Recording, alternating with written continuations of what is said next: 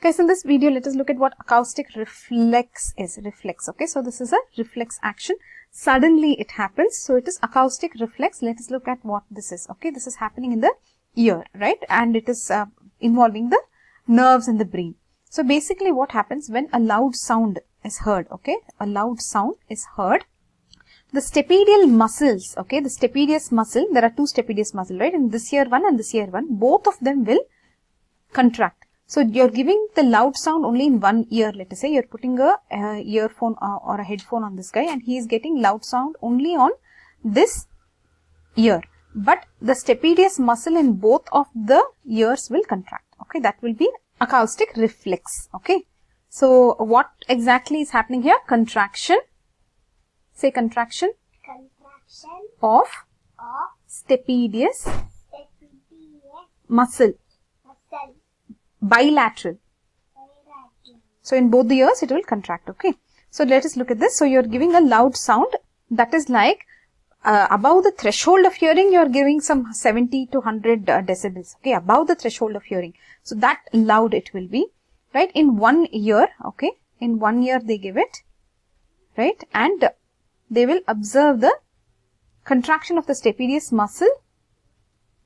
You can check the contraction on the contralateral side or you can check the contraction on the ipsilateral side. So now let us understand this pathway. So how exactly is the signal going from here to here or how exactly from the cochlea it has come to this stapedius muscle also. So to the ipsilateral how the information came to the stapedius. On the contralateral how did the information reach the stapedius. So this pathway let us look at. Okay. Guys, are you ready to look at the pathway for acoustic reflex? Okay. So basically, ipsilateral. Let us look at this pathway now. Okay. So the ipsilateral side, what exactly is happening, guys? So cochlea, right? What happens here? The sound is picked up. It goes uh, via the cranial nerve 8, right? To the cochlear nucleus, right? From here, what happens? This is the ventral cochlear nucleus. From here, it goes to the seventh cranial nerve. Okay that is the seventh cranial nerve it will go okay? That is the facial nerve okay? And here the signal will reach the ipsilateral stapedius muscle. This is all is the pathway for ipsilateral. So look at the pathway for ipsilateral. So ipsilateral is very simple guys. From the cranial nerve 8 to the cranial nerve 7 right? That is the facial nerve. The information reaches the stapedius muscle okay? So, cranial nerve 8, facial nerve that is the uh, cranial nerve 7, stapedius contracts. So, what happens if stapedius contracts?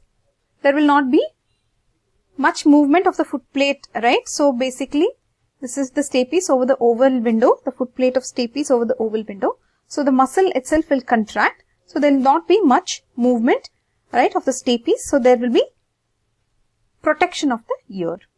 So you know what stapes is, right? Stapes is the bone. Stapedius is the muscle. So this muscle is being controlled here so that the stapes won't move much against the oval window. So now it will do some noise control. Okay, it will protect us from the noise. So are you clear now with the ipsilateral thing? Now let us move on to the contralateral thing. Now contralateral guys, just uh, look at this.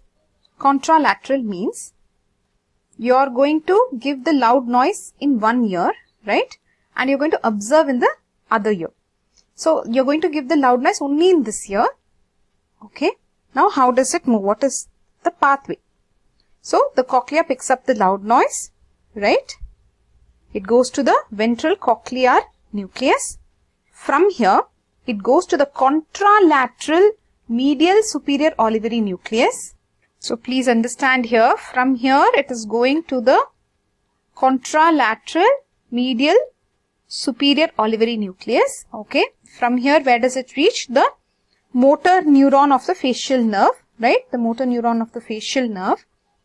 Then you have the contralateral stapedius muscle. This is the stapedius muscle on the opposite side. So this is the contralateral stapedius muscle. It, the information comes here and this stapedius muscle contracts. Okay. So actually both will contract. You can check on the ipsilateral side also it will contract. On the contralateral side also it will contract. So the pathway has been explained. So basically acoustic reflex testing is a part of impedance testing, right? If you, if you remember, impedance audiometry you have seen, tympanometry has one part and then you have seen the acoustic reflex measurements, right? So actually both can be done together, right? So tympanometry they will check, right? And with the tympanometer in the ear, they can also check the acoustic reflex, okay? So basically, when will you do this? This is an objective test, right? So here the patient cannot lie. You will do the checking. So basically, so what is the testing you are doing here? You will check the stapedius muscle will contract. If the stapedial stapedius muscle contracts, then more sound will be received by the tympanometer, right?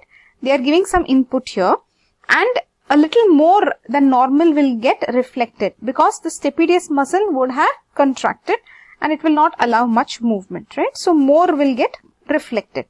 Okay. So basically you have looked at the pathway. So if we talk about the test, basically you can do this test in infants and young children. You can see if the people are lying or not, right? You can detect some cochlear pathology also. You can see if there is some lesion in the nerve, right? Eighth nerve lesion, okay? In um, eighth cranial nerve, if there is lesion, you can check, right? This is how you write eighth cranial nerve lesion you can find. Then um, you can see if there is a lesion in facial nerve, that will be facial nerve will be cranial nerve 7. You can detect lesions even in the facial nerve.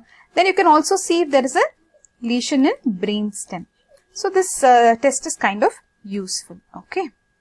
So hope you have understood acoustic uh, reflex, what it is, the pathway, the test exactly. You're doing it along with impedance testing, right? You're doing it along with impedance testing, that is impedance audiometry. Along with that, you're doing along with tympanometry, you can do acoustic reflex measurement. So instead of giving the loud sound and checking for the muscle uh, contracting or not, they actually do uh, tympanometry to see the reflected sound, whether it will be more or not. Okay. So that is why it is combined here. Okay. That's all for now in acoustic reflex uh, measurement. Okay guys. See you. Bye bye. Say bye.